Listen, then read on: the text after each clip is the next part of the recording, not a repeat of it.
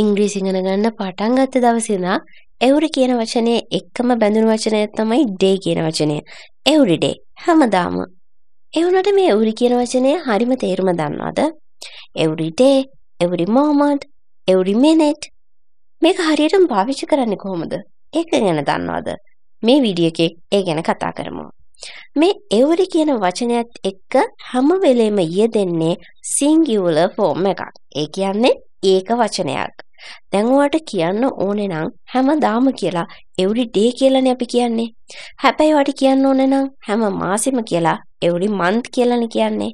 හැම අවුරුද්දෙම කියලා කියන්න ඕනේ නම් every year කියලා කියනවා. හොඳට මතක තියාගන්න සමහර අය කතා කරද්දි every months කියලා කියනවා. ඒක වැරදි.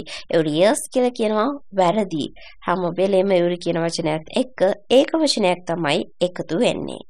ඒ වගේම every කියන එකේ අර්ථය තමයි සියල්ලම හැමදේම හැමදාම අන්න ඒ අර්ථයන්. දැන් everything කිව්වොත් හැමදේම every moment කිව්වොත් හැම මොහොතෙම every day කියලා කිව්වොත් හැමදාම මෙන්න මේ අර්ථයන්. බලන්නකෝ එතකොට මෙන්න මේ මම දීලා තියෙන උදාහරණ කීපය. Every day හැමදාම. every month හැම මාසෙම.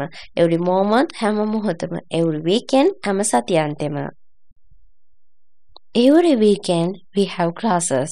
හැම සතියන්තෙම අපිට classes තියෙනවා. පන්ති තියෙනවා. Every moment I spend with you is more beautiful. මම ඔයත් එක්ක ගත කරන හැම මොහොතම හරි ලස්සනයි.